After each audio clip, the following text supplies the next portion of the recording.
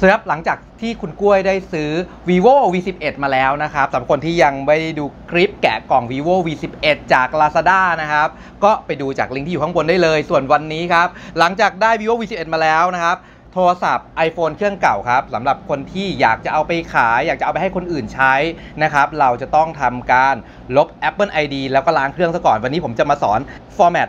iPhone ครับ และเพื่อนๆสามารถกดติดตามช่องผมจากปุ่มติดตามครับ หรือปุ่ม subscribe แบบนี้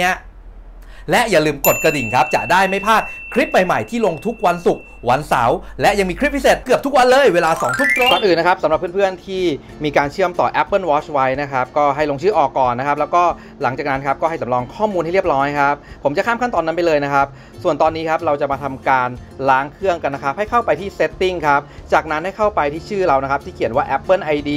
นะครับ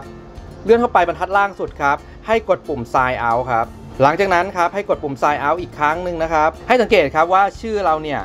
จะต้องออกจาก iCloud แล้วก็ App Store นะครับ ให้เราเข้าไปที่ตั้งค่านะครับ แล้วก็เลือก Reset ครับ หลังจากนั้นครับให้เลือก Erase All Content and Setting ครับ ให้ใส่ password ของเครื่องเราให้เรียบร้อยฮะแล้วก็กดลบเลยครับ หลังจากเรา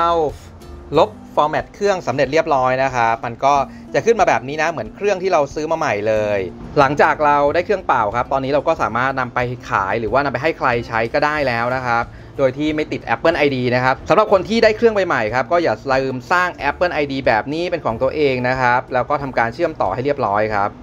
ก็วันนี้ครับสำหรับการฟอร์แมต ทรศัพท์สำหรับเอาไปขาย